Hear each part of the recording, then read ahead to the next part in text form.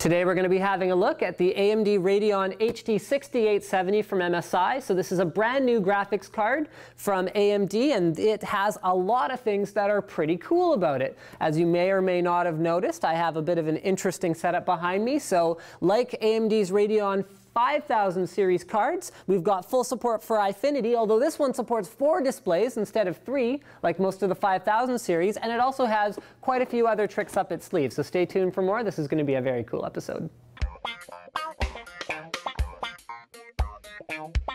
So let's get the basic specifications out of the way first. The 6870 is basically like uh, like a, a, value 5870 that has hopped up tessellation power, although it's not quite as powerful a card. It comes in at a much lower price point, so it stays quite reasonable. We've also added some features, and I want you to come down here with me and have a look at the 6870 itself. We've added support for HDMI 1.4, so that means we've got support for Blu-ray 3D, that means you can watch 3D movies with your TV's glasses with this particular video card. We're also going to have support for 3D gaming upcoming in a future driver. So by the time you watch this video, it may already exist on the 6870. And we also have, I mean, the biggest thing, this is it, is it's all about the performance with this card. We have enough horsepower to drive three 1080p displays, no problem in current titles. And that means that at a $249.99 price point, you can actually afford to put this card in a secondary PC, and that's what we're doing. We've got a media PC, we've gone and installed this. Maybe you have a 5970X2 in your main gaming PC, you're a, an extreme gamer. So that is what we're demonstrating is that it's got ample gusto for whatever you need to do in the living room. So here we are in Dirt. I don't actually have a copy of Dirt 2, or I would have showed you that. But let me tell you, this card is not about the technical specs because really it's not that different besides the better tessellation performance and support for 4 display Eyefinity than the previous 5000 series. What this is all about is the experience that it gives you and the price point that it comes at. So, I mean, I've run Eyefinity with monitors. I've run 3D Vision. I've run 3D Vision Surround. I've tried all of this stuff.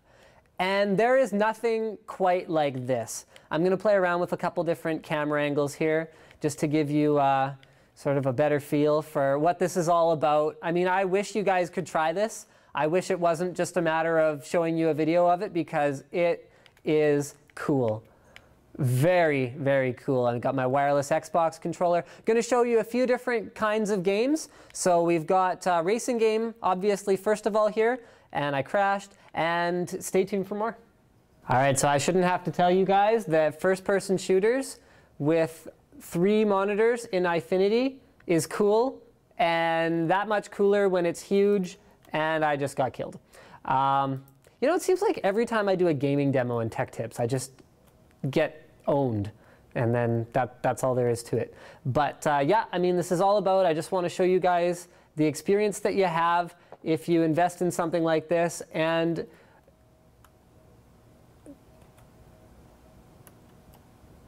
Well, I think it should all be pretty self-explanatory at this point. Well, there's a friendly. So I can't really show you what happens when you kill somebody in Eyefinity, but it should be pretty similar to what happens when you don't. So first-person shooter, really the advantage is not that you're going to be looking at the other monitors so much, but it's more about the fact that you have peripheral vision. So you go around a corner, and he's trying to knife me. Come on, finally I got him. Uh, you go around a corner, you can see what's going on on your left and on your right. Uh, unfortunately for me there, I couldn't see what was going on above me, but there you go. Call of Duty Modern Warfare 2 on triple 46-inch 1080p TVs. So Batman Arkham Asylum lends itself pretty well to this whole Eyefinity thing, as you can see. It is an NVIDIA title, but like I said, it works great on an ATI card, which is fairly obvious. I've just got my Xbox 360 controller here. This game is mostly just about showing you the experience that we're having with a third party, or a third person rather, game with three screens in surround. I gotta admit, it's hard to focus on talking right now when it's uh, so fun to just sit here and play. All right, so we got some torchlight going on here. This is just to give you an example of what a top-down view type game is going to look like with this kind of a setup. It's just very cool to do dungeon crawling or RTS or, I mean, really, there's no kind of game type that I can even say isn't just insanely cool with this. Um, and ultimately, it comes down to one simple thing. This gaming experience is just unlike anything that you can get on a console, anything that you can get on a Mac.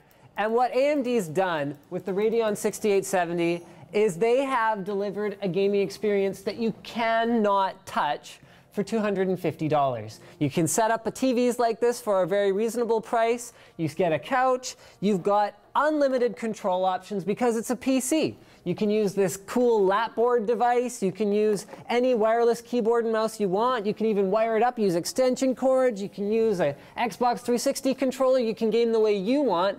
And we've shown you all the different kinds of games that you can enjoy on the Radeon 6870, whether it's first-person shooter, driving, anything you want. It's a phenomenal gaming experience, and just a big thanks to MSI for providing our 6870 so we could give you this demonstration, and big thanks to AMD for delivering this crazy value of a card, the 6870.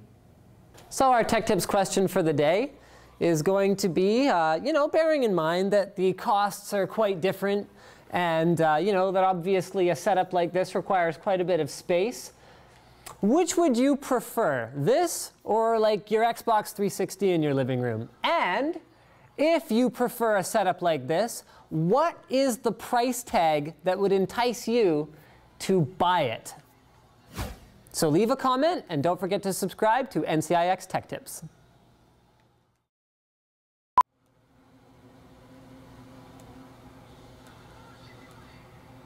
How Mac people play video games. See, they just clearly don't get it.